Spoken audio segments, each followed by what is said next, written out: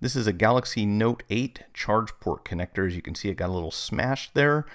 And this is a pretty good place to start if you haven't done this type of connector before because there's quite a bit of room in here. So what I'm going to do is start by just kind of taping down the surrounding area.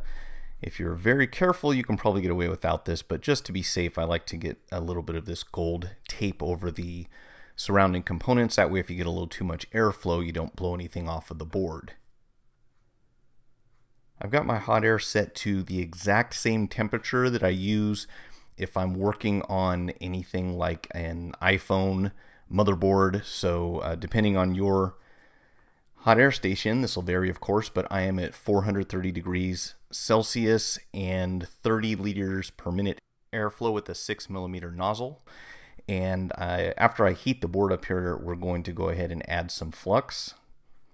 And then if you just kind of keep the heat on here constant, it won't take too long before this comes off. The trick is going to be that you need both ends, uh, the right end and the left end, to heat up because the anchors on this are going to be the thing that kind of hold it in place.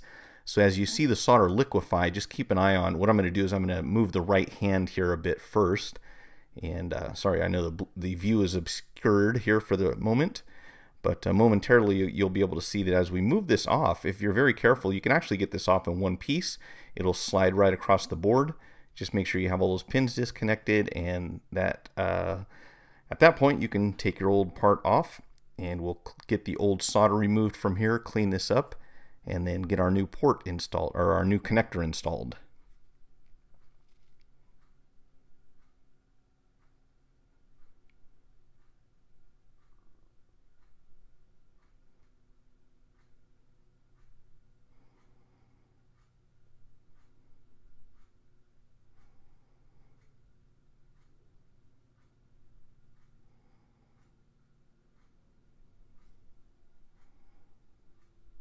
All right, we'll put some fresh flux down and then we're going to add leaded solder to all of the points that you see here.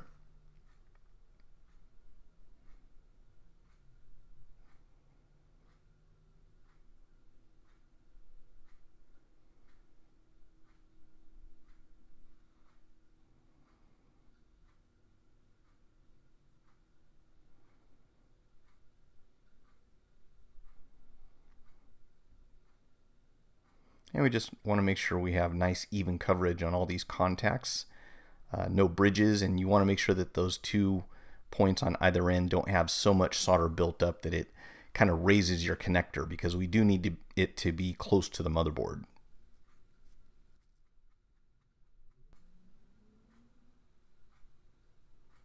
All right, so I'm going to heat this up a little bit.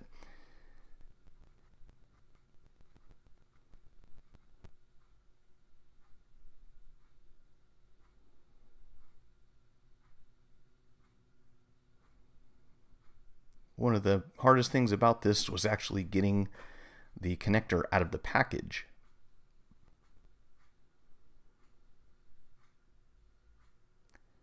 All right, so we're going to set this down as close as we possibly can to where we want it to end up.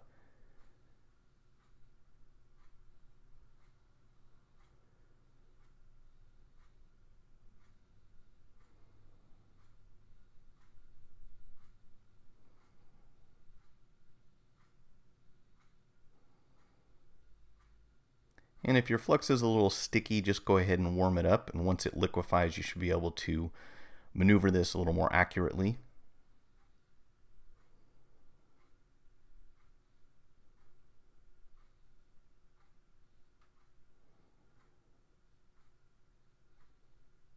And that's right about where we want to be.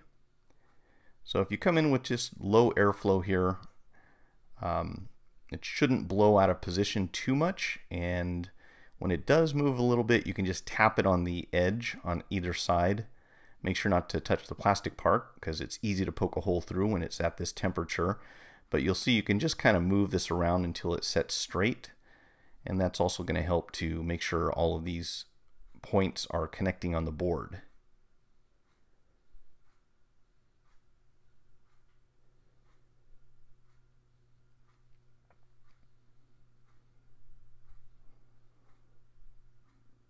Now it looks like we've got everything lined up pretty close to where it was originally. And I'm just going to check these pins quickly, make sure none of them are completely disconnected. And what will typically happen is the solder gets sucked up underneath the connector. So they are on the motherboard, but you can't really see a lot of that solder that we put down earlier. So just to reinforce this, we're going to go ahead and add a little more flux and then touch up each one of these pins individually.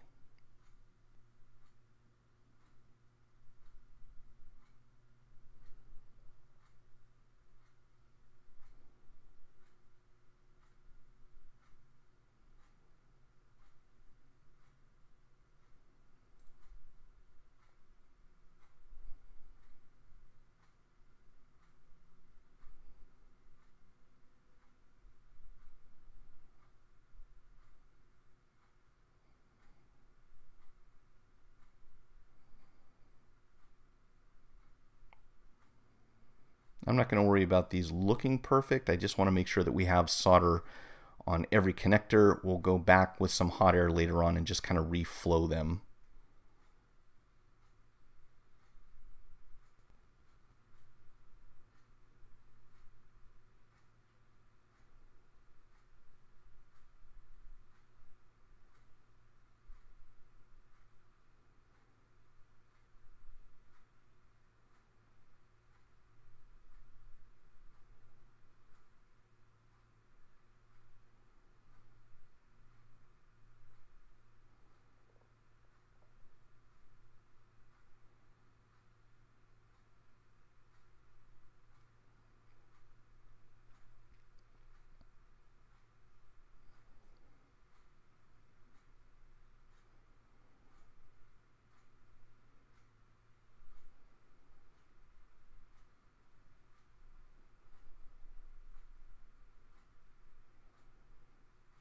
Right, so you can see I'm applying a little more hot air, and this will smooth out all those little jagged pieces, especially on the ground connectors where you have a hard time getting those things to melt.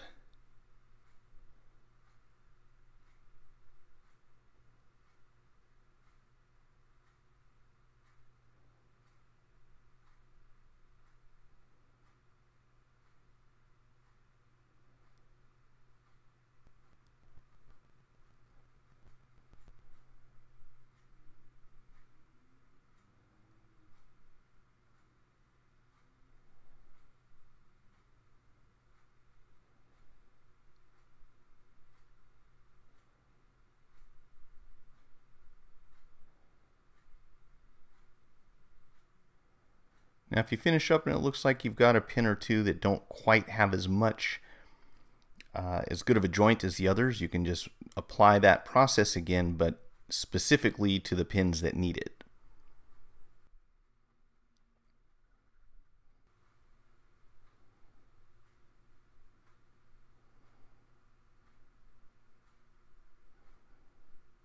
Now you can see that one that I was just pointing to it is connected, it doesn't move, but it's not really got a solid solder joint underneath it, so we're just going to go ahead and touch that up.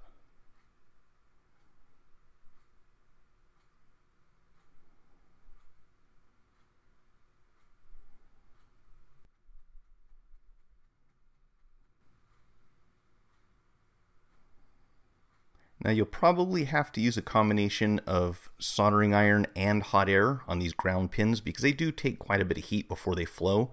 So as you can see, I'm just warming up the board. We'll go in and touch this real quick.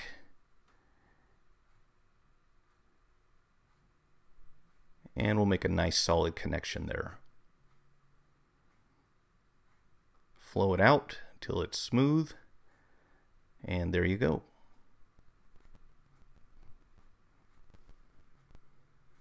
And that is looking pretty close to factory right there.